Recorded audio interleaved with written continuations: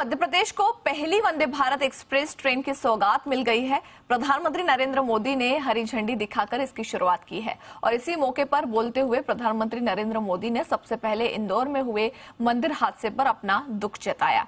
उन्होंने हादसे में जान गंवाने वालों को श्रद्धांजलि दी और घायलों को जल्द से जल्द ठीक होने के लिए उनके लिए कामना भी की। प्रधानमंत्री ने कहा कि मध्य प्रदेश को आज पहली वंदे भारत एक्सप्रेस ट्रेन मिली है।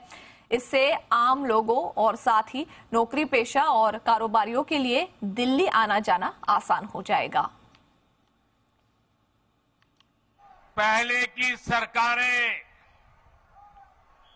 तुष्टीकरण में ही इतना व्यस्त रही कि देशवासियों के संतुष्टीकरण पर उनका ध्यान ही नहीं गया।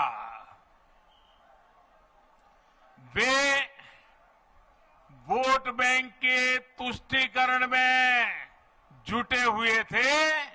हम देशवासियों के संतुष्टीकरण में समर्पित है।